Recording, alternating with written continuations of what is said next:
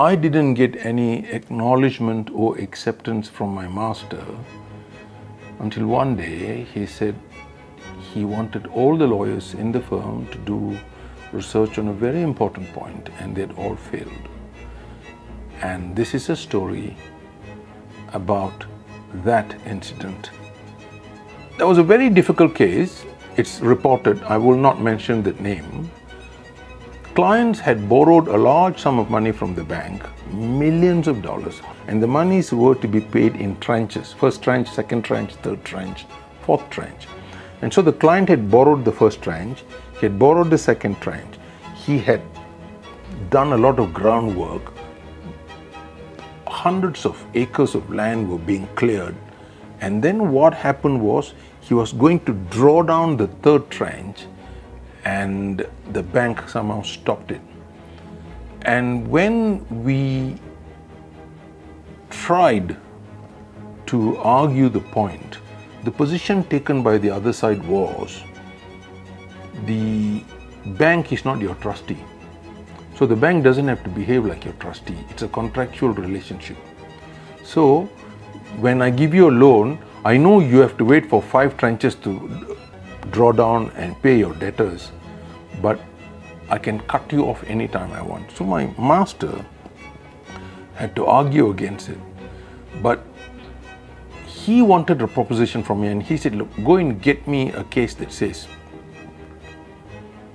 a mortgagee is not a trustee. You know, bank lends you money, they don't have to behave like trustees. So I was wondering, is he acting for the developer or is he acting for the bank? He was acting for the bank. Was acting for the financial institution. I didn't know that. So he had asked all his senior lawyers, lawyers of 30 years standing, 20 years standing, 25 years standing, 30 years standing, and none of them could do it. In frustration, he's got a rack of books onto his left on a, on a wheel. So th- they were filled with books. He calls me and says, You are a clock watcher. You are a waste of my time. What are you doing here? Huh? Do some research. Get me an authority that says a mortgagee is not a trustee. I knew everybody had failed, and I was telling myself, Today I'm going to get it. He's going to flay the skin off my body.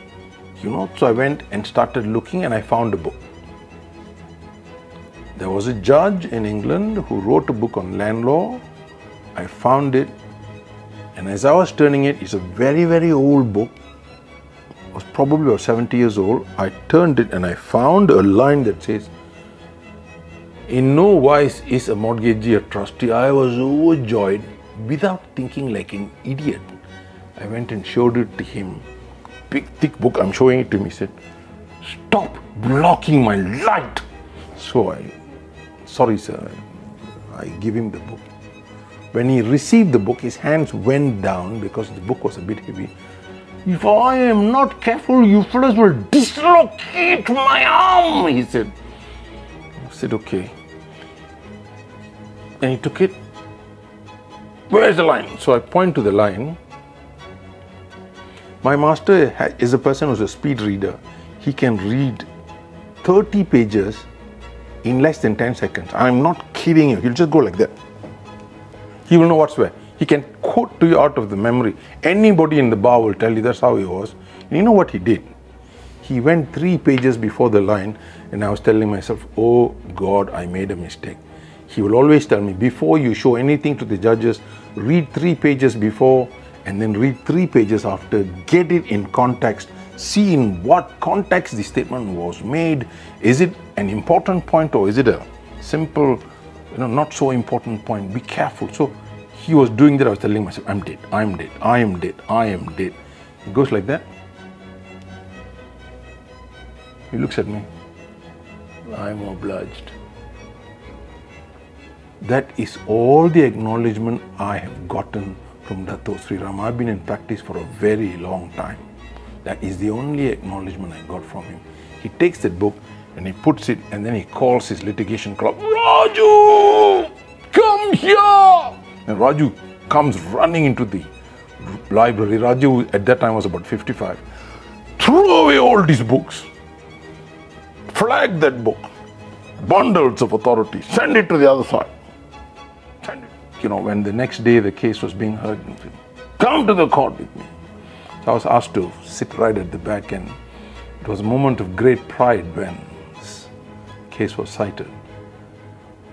It's reported, you will find it. But the point is, if you could give him an authority that he couldn't find, he would respect you. And that day, I got that respect. And because of that, months later, when I finished my pupillage, he insisted that I stay with him as his uh, legal assistant. But of course, by the time he became a judge, that wasn't possible. But he was nevertheless very kind to me. So that is the story I would like to remember of Dato Sri Ram. And if my grandchildren were to ask me these stories, of course I would tell them these stories. Thank you very much for listening. Have a good day. It was on this day, ages and ages ago, that my master actually acknowledged my presence in the firm and he accepted me as a person and afterwards he treated me well and that was a turning point in my life.